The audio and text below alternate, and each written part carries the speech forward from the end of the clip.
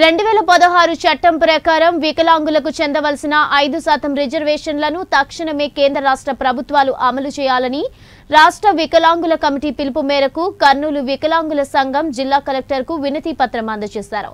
ప్రభుత్వం నుండి రావాల్సిన సంక్షేమ పథకాల అమలు చేయాలని దాంతో పాటుగా వికలాంగుల సర్టిఫికెట్స్ను అందించాలని డిమాండ్ చేశారు. లేని పక్షంలో ఉద్యమాన్ని ఉధృతం చేస్తామని హెచ్చరించారు. రాష్ట్ర కమిటీ పిలుపు మేరకు కర్నూలు జిల్లా వికలాంగుల సంఘం ఆధ్వర్యంలో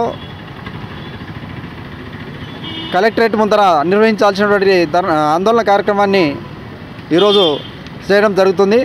అయితే కలెక్టర్ గారు లే లేకపోవడం చేత కలెక్టర్ గారికి ఇవ్వాల్సినటువంటి రిప్రజెంటేషన్ కూడా వారి తపాల్లో ఇవ్వడం జరిగింది. మరి మేము గత ఇరవై సంవత్సరాల నుంచి కూడా మా హక్కుల కోసం పోరాటం చేస్తూ ఉన్నాం.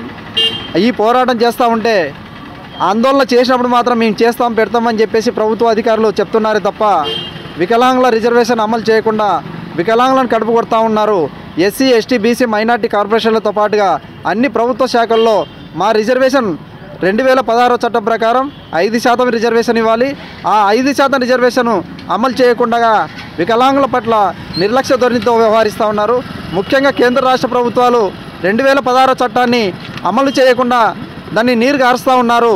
కాబట్టి తక్షణమే కేంద్ర రాష్ట్ర ప్రభుత్వాలు రెండు వేల పదహారో చట్టాన్ని అమలు చేయాలి.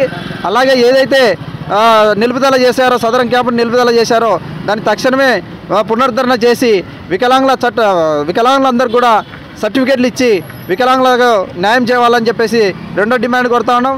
అలాగే ఈ మీరు చెప్తున్నటువంటి రిజర్వేషన్ అమలు చేశామని చెప్పేసి ఏదైతే చెప్తా ఉన్నారో ప్రతి శాఖ పైన మూ త్రి త్రిసభ్య కమిటీని ఏర్పాటు చేసి అన్ని శాఖల్లో ఎంక్వ ఆ సభ్య కమిటీ ద్వారా ఎంక్వైరీ చేసి మా నిగువ తేల్చాలని చెప్పేసి కలెక్టర్ గారిని డిమాండ్ చేస్తూ ఉన్నాం.